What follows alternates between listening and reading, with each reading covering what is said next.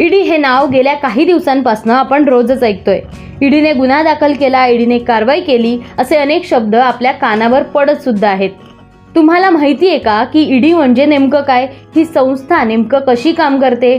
कोणकोणत्या घोटाळ्यांची ईडीने चौकशी केली जाते? या सगळ्यांचा रेकॉर्ड नेमका कसा असतो? असे अनेक प्रश्न तुम्हालाही पडलेच असेल. त्यामुळे ईडीचं प्रकरण नेमकं काय आहे? ते कसं काम करते? समजून घेऊयात. एक मे एकोणीसशे छप्पन्न रोजी परकीय नियमन चलन कायदा एकोणीसशे सत्तेचाळीस अंतर्गत ईडीची स्थापना करण्यात आली होती. सुरुवातीला या विभागाचे नाव सक्त वसुली विभाग असं होतं. परंतु यानंतर एका वर्षातच म्हणजेच एकोणीसशे सत्तावन्न साली या विभागाचं नाव सक्त वसुली संचलनालय ठेवण्यात आलं. ईडीचा प्रमुख उद्देश दोन कायद्यांशी संदर्भात आहे. पहिला कायदा म्हणजे परकीय चलन व्यवस्थापन कायदा आणि दुसरा म्हणजे काळा पैसा प्रतिबंधक कायदा. या दोन्ही कायद्यांबाबत जे गुन्हे दाखल केले जातात त्यांची चौकशी करणं हा ईडीचा प्रमुख हेतू आहे. ईडी हे पोलीस यंत्रणाप्रमाणेच काम करते. मोठे आर्थिक घोटाळे जे आहेत त्या प्रकरणाची चौकशी ईडीच्या माध्यमातून केली जाते. जर ईडीकडे तक्रार करायची असेल तर यासाठी काही अटी आहेत. त्यातली पहिली अट म्हणजे त्या विशिष्ट घोटाळ्यासंदर्भात पोलिसांमध्ये तक्रार दाखल असावी लागते. असं असेल तर ईडीच्या माध्यमातून चौकशी केली जाते. आणि दुसरी म्हणजे थेट ईडीकडे जाऊन तक्रार करण्यासाठी तक्रारदाराने सबळ कागदोपत्री पुरावे द्यावे लागतात. ईडीचं प्रमुख कार्यालय दिल्लीत आहे.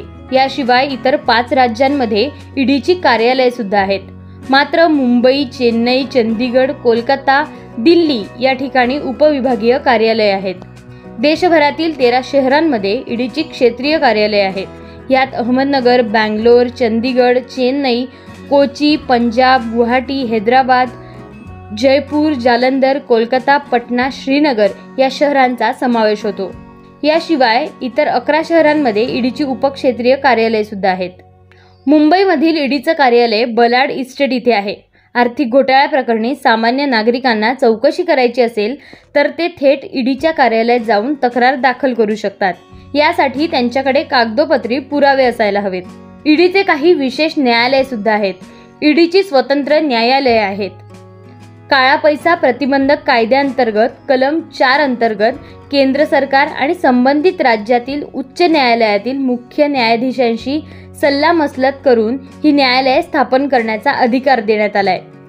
बी एम पी ए या नावाने ही न्यायालये ओळखली जातात. या न्यायालयामध्ये जो निकाल दिला जातो त्यांना उच्च न्यायालयात दाद मागण्यासाठी अधिकार याचिकाकर्ते तसंच समोरच्या पार्टीलाही असतो.